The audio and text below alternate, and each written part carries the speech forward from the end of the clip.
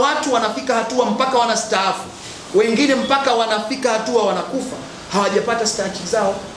Sasa tumeelekeza jeshi hili waandae taratibu za kuwapa maposho na stahiki zao mapema kabla hawajastaafu, pamoja na ufinyu wa bajeti. Lakini tukae tulifikirie hili, tuone namna ambavyo hata hawa wanaostaafu wanakwenda kuishi uraiani wakiwa na amani na fungu lao tayari wamelipata. Lakini chengine tumejaribu kuwashauri, kupendekeza na kuelekeza. Waone namna ya kubuni mbinu za kuweza kujiengezea mapato wao kama jeshi. Kama zilivyo taasisi nyingine, magereza na majeshi mengine, waendeleze mbinu na juhudi za kuweza kujiengezea wao mapato.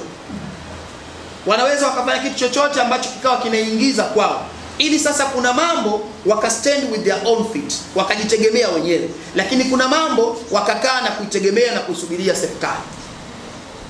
Kuna mambo wakifika wakati wakinunua wenyewe wakatengeneza wenyewe. Sisi kama serikali tukija wakituambia hichi tumetengeneza kwa nguvu zetu, hichi tumetengeneza kwa nguvu zetu, sisi serikali tunapata faraja, tunajua tuna jeshi madhubuti ambalo linabuni mbinu za namna gani wanaweza wakajitengenezea mapato yao.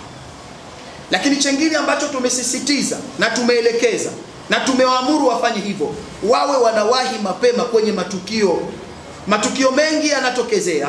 Mpaka kama ni majengo au kama ni riski nyingine yoyote inamalizika, wao hawajafika. Sasa mwisho wa siku wananchi wana lose confidence na hili jeshi, kwa sababu kila kitu wananchi wanajua lina jeshi lake.